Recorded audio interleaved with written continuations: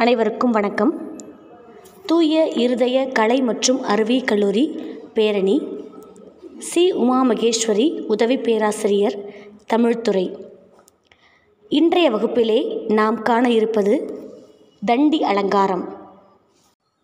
பொதுவாக தமிழ் இலக்கணம் எழுத்து சொல் பொருள் யாப்பு அணி என ஐந்து வகையாக பிரிக்கலாம். அவற்றில் ஐந்து இலக்கண இலக்கணத்தையும் குறிப்பிடக்கூடிய நூல்கள் வீரசொழியும் தொன்னூல் விளக்கம் முத்துவீரியம் இலக்கண விளக்கம் என்பதாகும்.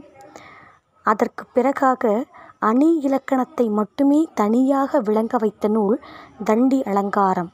இந்த தண்டி அலங்காரம் பனிரெண்டாம் நூற்றாண்டை சார்ந்த ஒரு நூல் ஆகும். செய்யுளின் அழகையும் நயத்தையும் எடுத்து மொழிவது அணி இலக்கணம். சிந்தை வைத்து ஏம்புவன் செய்யலுக்கு அணியே என தண்டி அலங்கார முதல் நூற்பா நமக்கு சுட்டுகின்றது. அதன்படி தண்டி அலங்காரத்தின் ஆசிரியர் தண்டி எனும் பெயருடையவர். தண்டி அலங்காரம் பனிரெண்டாம் நூற்றாண்டு நூலாகும். இது அணி இலக்கணத்துக்கு மட்டுமே குறிப்பிடக்கூடிய தனிச்சிறப்பு வாய்ந்த நூல் எனலாம். இது ஒரு வடமொழி நூல். வடமொழியில் தண்டி என்பவரால் காவிய தரிசனம் எனும் நூல் எழுதப்பட்டது.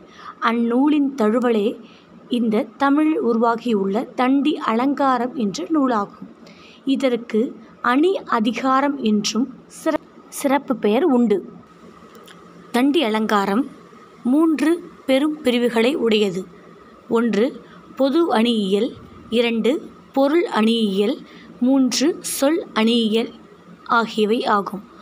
பொது அணியியலில் செய்யுள்களின் வகைகள் வைதர்ப்பர் கௌடியர் ஆகியோரின் சொல் அமைப்பு நெறிகள் விவரிக்கப்பட்டுள்ளன.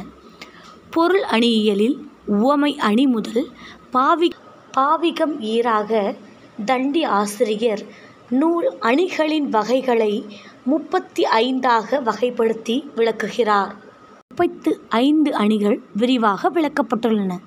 அதைத் தொடர்ந்து சொல் அணியியலில் மடக்கின் வகைகளும் சித்திரக்கவைகளின் இலக்கணமும் வழு வழு அமைதி மலைவுகள் ஆகியவை விரிவாக விளக்கப்பட்டுள்ளன. இந்நூலுக்கு பல உரைகள் இருப்பினும் சுப்பிரமணிய தேசிகர் அவர்களும் சுன்னாகம் ஆ. குமாரசுவாமி பிள்ளை அவர்களும் பதிப்பித்தவே மிகவும் சிறப்புடையதாக கருதப்படுகின்றன.